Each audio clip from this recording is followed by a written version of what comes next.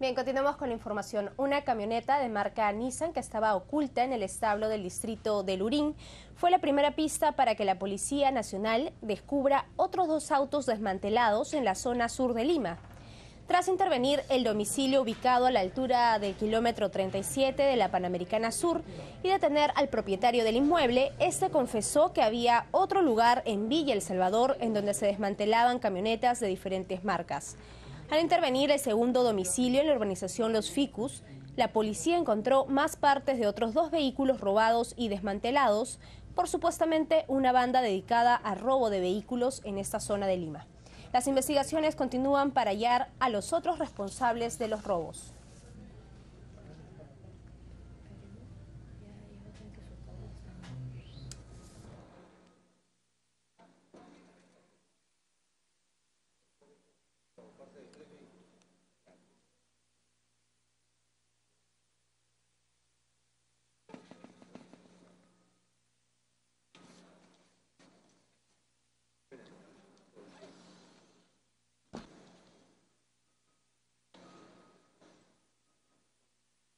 Las imágenes reiteramos la información fue encontrado en, el, en Lurín, la primera pista para que la Policía Nacional descubra autos desmantelados en la zona sur de Lima. Este domicilio se encuentra ubicado a la altura del kilómetro 37 de la Panamericana Sur y el propietario fue detenido y confesó que había otro lugar en Villa El Salvador en donde se desmantelaban también camionetas de diferentes marcas. En este segundo domicilio, en Villa El Salvador, que estaba ubicado en Los Ficus, la policía encontró más partes de otros dos vehículos robados, como podemos observar en las imágenes, y desmantelados por supuestamente una banda dedicada a robo de vehículos en esta zona de Lima. Como sabemos, la policía va a continuar con las investigaciones para hallar a los responsables de este robo.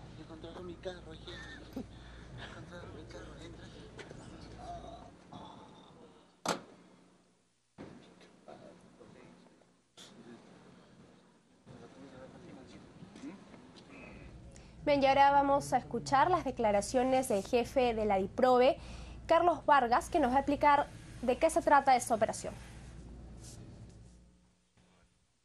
Por favor, ¿puede explicarnos cuál era la modalidad en que operaba esta banda?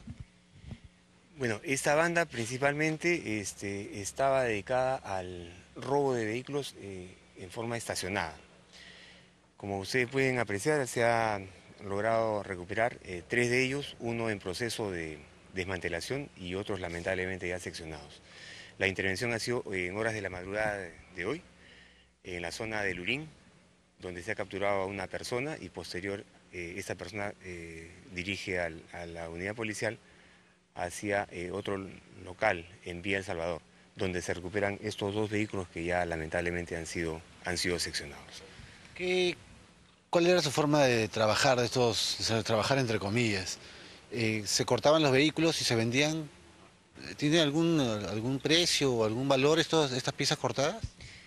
Claro, eh, lo que tenemos en estos momentos es que eh, es un proceso investigatorio a esta, a esta organización delictiva que se dedica al robo de, los vehículos, especialmente camionetas, porque los tres son vehículos camionetas, en la zona sur y eh, que han sido seccionadas y este, estos, digamos, estas piezas o estos repuestos son comercializados en, los centros informales que ustedes ya, ya conocen. Lo que vemos que son autos más o menos antiguos, ¿no? de unos 15, 20 años de antigüedad. Eh, bueno, no tanto esta camioneta es del año 2003 y las otras sí son menos de 2000. Eh, y efectivamente son ya, si bien es cierto, no son nuevos, es por ese motivo que los requieren en algunos casos para poder ser comercializados por, por piezas. Es decir, de que faltan ya estas, de estos repuestos, digamos, por eso es que optan por hacerlo. Claro, es lo que se prevé y que hace que los delincuentes, digamos, este, se fijen en este tipo de vehículos que puedan eh, desmantelarlos para poderlos vender. ¿Y al menos cuántas personas eh, deberían operar en una banda para poder hacer todo este para cometer ese delito, digamos? El número no es exacto, pero eh, generalmente no son menos de, cinco o seis personas. ¿Cuántos hay detenidos? En estos momentos eh, tenemos un detenido y estamos continuando con las investigaciones para eh, encontrar y poder capturar a los demás miembros de la banda.